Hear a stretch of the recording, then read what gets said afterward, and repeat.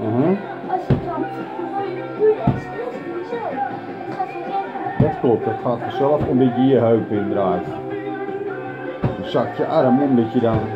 Zet even jouw muziekje wat zachter. Ja. Oh, dat is ook weer overdreven.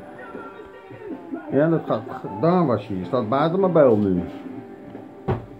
Omdat je je heup indraait, zodat je meer kracht erachteraan kunt gooien. Ja. Dan zakt automatisch je dekking. Dus dan moet je altijd rekening mee houden met low kicks, middle kicks en met high kicks. Met afstandtrappen niet. Met afstandtrappen kun je prima je dekking hoog houden. Low is hier bij je benen, bij je. Maar mag je ook een trap geven zo, dat je zo doet bij je benen, dat je dan zo... Als je Muay Thai, als je een Muay Thai wedstrijd hebt, wel. Als je een kickbox wedstrijd hebt, niet. Maar daar hadden we het niet over.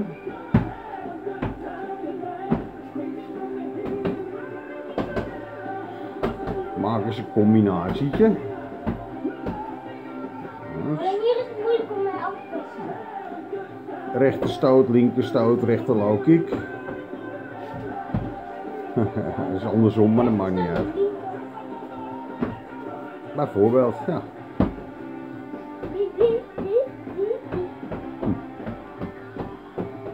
Alleen als je, moet je nou echt, als je een combinatie pakken doorgaan met combinaties maken, echt aan één stuk door combinaties maken? Nee, dat ligt eraan. Als je openingen ziet, dan kun je natuurlijk door blijven combineren. Maar Snap als je lang genoeg hierop blijft staan, iemand te dekken, kan het dan dat een spiertje stuurt of zo? Jongen, blessures kunnen altijd gebeuren, maar daar ga je niet vanuit.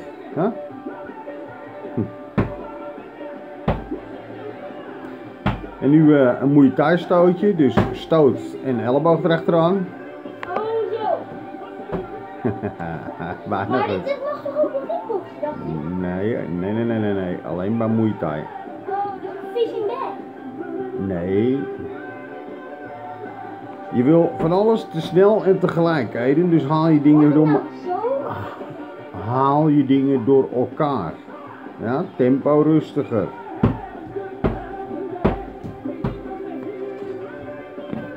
Leef je maar lekker een beetje uit op die trapzak. Eh, Leef je maar even lekker een beetje uit op die trapzak. Gooi er maar uit, die energie.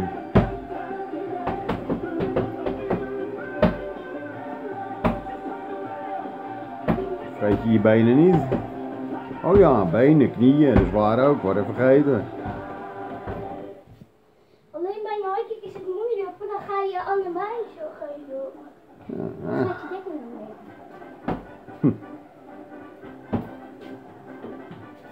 lekker bezig.